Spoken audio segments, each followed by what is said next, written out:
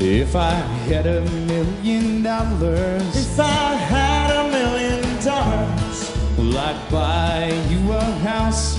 I would buy you a house. If I had a million dollars, If I had a million dollars, I'd buy you furniture for your house. maybe a nice Chesterfield or an Ottoman. And if I had a million dollars, If I had a million dollars, I'd buy you a smart car.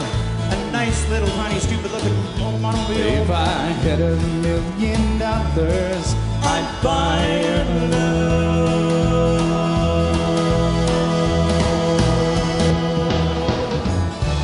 If I had a million dollars, I'd build a train for NIR. if I had a million dollars, You could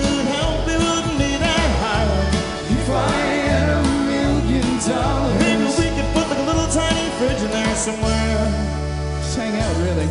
You know, you just open up the fridge and like just sell all kinds of stuff to people out of it. Um, perhaps we could sell ice cold drinks for people to enjoy on a nice hot day, glass and grape.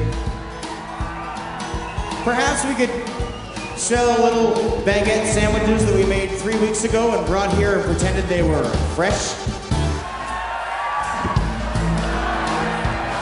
Whoa, that came from a baguette manufacturer. I forgot about the disgruntled baguette manufacturer contingency here. Watch out, somebody will go baguette on you. I was warned about that. Benny from Björn Again said, Oh, watch out for the disgruntled baguette manufacturers. If I had a million dollars, If I had a million I'd buy you a fur coat. but not a real fur coat, that's true. And if I had a million dollars, If I had a million dollars, well, I'd buy you an exotic pet. yep, like a llama or an emu. And if I had a million dollars, If I had a million dollars, well, I'd buy John Merrick's remains. ooh, oh, all them crazy old